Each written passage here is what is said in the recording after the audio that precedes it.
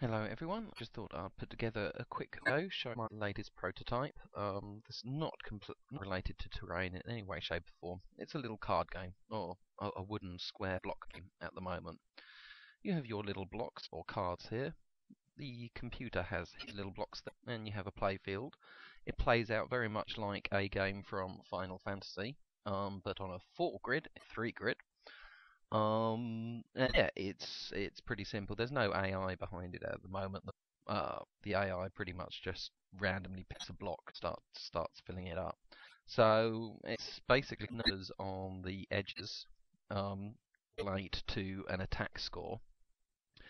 And so if, for instance, I was to place this down here, computer waits a second, puts one there, and zoom changes it to his color. So he's got a 2 there versus a 1 there, so he can capture it. I can capture his by putting this one here and putting that there. Zoom.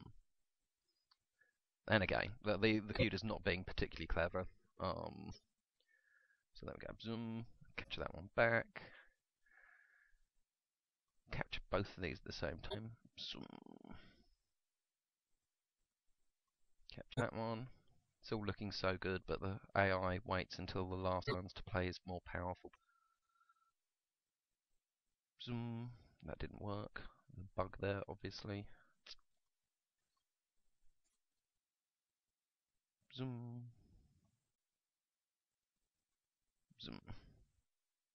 Yeah, so it looks like I won that one. But anyway, um, this is something I've just put together in um, Unity 3D. Uh, I did the textures yesterday. Textured in inverse um, and and the cover today, and it's come together pretty nicely. Um, wondering what sort of theme I should put behind it, whether it be monsters in the cards or robots or dwarves, no idea. So I mean, feel free to let me know what you think.